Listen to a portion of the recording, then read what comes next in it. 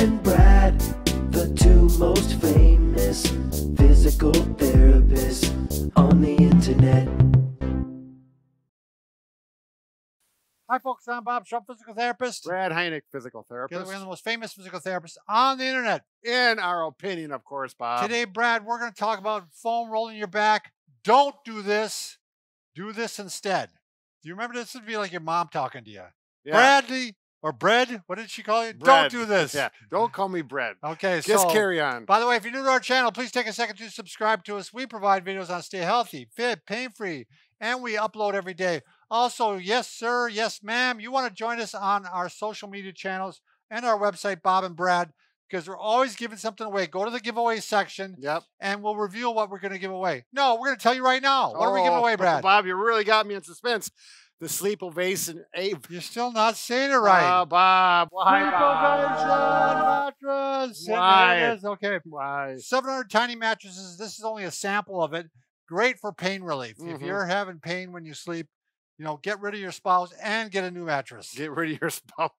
Wow, Bob. Okay, all right, let's go.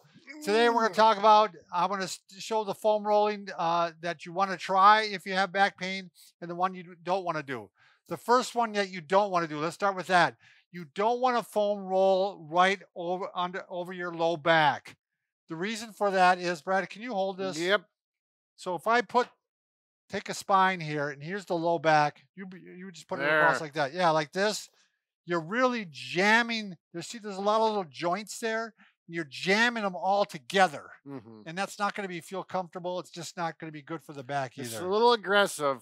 Uh, because when you go up to your mid back, you also have the rib cage supporting the spine, which makes a big difference. It's all and also the rib cage. I mean, when we go up to the mid back, which we're going to say you can go ahead and do. you- We Mhm. don't want the low back. You can do the mid back, is because a lot of people start getting rounded out here. yes. So we're trying to stretch that out and get back into the right position.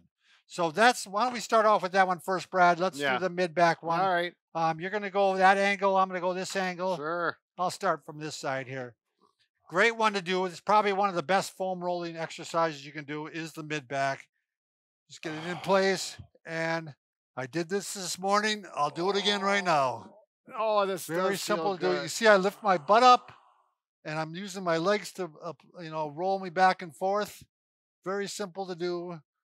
Brad, you tend to go a little bit further up on the neck, I think, than I do. I it feels good up there, Bob. Yeah. I just really like going. And if my mic set wasn't in the way, I'd go even a little bit further. But you know, my God, I just looked up and Sam was looking at, at me with the hat on. Scared me. yeah, that That kind of. skeleton. Anyways, But but she's sometimes taking a look at him. All right, next one, Brad. Let's keep it rolling here. Now, if you want to do one for the mid or the low back, this is one I just did, Brad. I tweaked my back a couple weeks ago. sure. And this felt so good. I thought, you know, we got to show this. So I think I'm hitting the kind of the quadratus lumborum. And what you're doing is you're not going directly on the spine, you're going onto the side. Yep. So did you try this one or not? Well, yeah, actually, because I'm a little more sensitive in my mid back because my spondylolisthesis. But if I control my weight bearing through my arm here and my leg here, Yeah, see, so we're right, the pelvis, we're going off the pelvis. We're not, let me show you here. Show yeah, way. show the spine. So I'm, I'm like this. See, I'm not on the pelvis itself. I'm off the pelvis. I'm catching right into this area here, Yeah. probably catching the quadratus lumborum, wouldn't you say? Yeah, which happens to be a, a pretty big muscle that uh, controls that low back. And look what Brad's doing. He's a little bit, little bit off, not not right onto the side. You're a little bit like three quarter angle, aren't Yeah. you? Wouldn't you say, Brad? and- I'd give the pelvis about a 45, 50 degree angle, Yeah. 51 degrees. Kind of 45 degrees this Yeah. way, and I and you roll. I roll. I don't know about you, Brad. Right, right, o- right off the pelvis, You know, and that feels really good. what you're gonna do at home is do what feels good. You'll Right, know. You, yeah. you- You'll know because right now I can feel when I get that muscle, just feels like one of those hurt so good pains. That's exactly what it should be. It should not be hurt, hurt. It should be hurt so good. yeah, it's like So- oh, that feels good when you're done. All right, next one, Brad. Now we're going to go ahead. This one is a little uh, not as direct, but your hip flexor muscles come up and attach into your pelvis. And if they're tight, which often they are, in a lot of people who sit a lot, they pull the pelvis over like this and they affect the back. So it's going to do this type of thing here. Here's the pelvis. The hip flexor, a tight hip flexor is going to pull it over like that. It's going to kind of put pressure on the back there. So does, does that make sense to you, Brad? You look uh, confused. That's all right, Bob. Let's show the stretch. Yeah. We'll talk about it later. Why? There's something he's not this agreeing feels really good, by the way. I want to make sure I got the other side because. All right, now let's go to this. Okay, the hip flexor, you do one at a time, the way I do it. Otherwise, you get the package, and you don't want to get the package, right, Brad? So, I'm just glad I got one. Okay, yeah, here we go. So I'm I'm rolling a little bit off onto the side a little bit again here, and this is a great one for uh, hip pain. I mean, this one can really uh, uh, contribute to hip pain if the hip flexor is tight.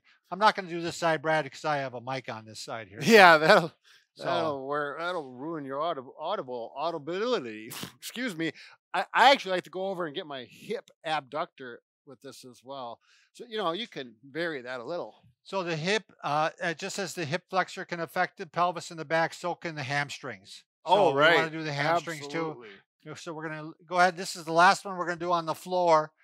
You're gonna go ahead and just you can roll them both to start off with. It's usually what I do, and then I go down to one, and you can even cross your leg over, and that really hits that one. And the hamstring, remember, goes all the way up to the pelvis. So roll it all the way up Yep, there. way up to the buttocks area. You know, one thing, uh, I'm not going to reveal this right now, Brad. I got a, a, a different stretching, some advanced stretching to do for the hamstring. Oh, you do. And uh, it's gonna, gonna hold out on us. I'm going to huh? hold out. It's going to be a future video. That's why you got to subscribe to us. Oh yes. All right, last one, Brad. We're trying to keep things moving I'm here. sorry, Bob. I, I just am enjoying this. This is one Brad probably wouldn't do because you have spondylolisthesis or however you say it, or Say it your way. Spinal spondylolisthesis. Spondylolisthesis. Spondylolisthesis. We'll have an English major Yeah. correct this. So this is just a real simple one you can do. If you want to get into the low back without putting too much stress on it, you can actually get it right around the pelvis here and lean back like this. Yeah. It gives a little overpressure to the back. It's gentle, Yeah. but you're you're stretching into extension. It's kind of it's a nice one to do. Yeah. If you've got spondylolisthesis or stenosis, and you do this and it just hurts, Right. and you may not know you have it, but if you do this and it hurts, just don't do it. Skip that one. Yeah, if you're older than 55, in all seriousness, and, Right. and if you do this one and it hurts, there's a chance you might have spinal Right. stenosis or spondylolisthesis. Right. You know, as you shrink, you know, that can contribute to that stenosis. Uh, so people, when they get over 55, Yeah, typically are discs- starting to the, shrink. The discs lose their uh, height and, and Yeah, water and the, all that. The aging so- process is a beautiful thing. Yeah, well, if you, you know, as Brad and I always say, if there's wrinkles and gray hair on the outside, there's wrinkles and gray hair on the inside. In a, in a sense, things are wearing down. Yeah, yeah. So it's just part of life. It is. So, Eventually, we'll be dust. you try to depress our No, no, no. But circle of life, you know. Then somebody Yeah, will eat us, and then they'll go on to the. Ye- exactly, Bob. right, mm. thanks.